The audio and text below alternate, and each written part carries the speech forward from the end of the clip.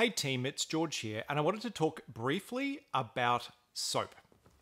So, during this whole uh, corona virus outbreak, we've been talking a lot about hand washing, and I noticed at Woolworths today that the soap aisle, well, the hand soap aisle was empty, but right next to it, the body soap, there was absolutely heaps of it.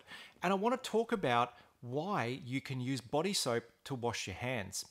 Now, the thing is that the virus is actually not that sophisticated. It has a core of genetic material that is covered outside and protected by a lipid layer. So, lipids are made of fats. And guess what? Soap dissolves fat.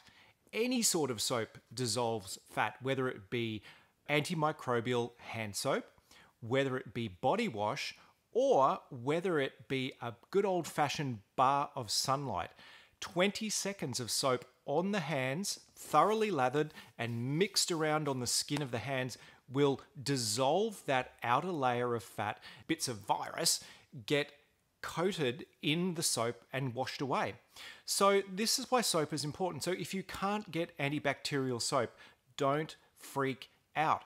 It's okay. You can use body soap to wash your hands as well. And for the thrifty shoppers out there, guess what? You can buy more body soap than hand soap at a much cheaper price. So just choose a scent that's appropriate for you. If it bubbles up, then you are on a winner. So don't freak out if you can't get hand soap. If you can get body soap, and there's plenty of that, you are going to be okay. And you can use that to wash your hands as well. So, team, please don't freak out if you can't get the particular brand of soap that you are hoping for. Soap is soap is soap.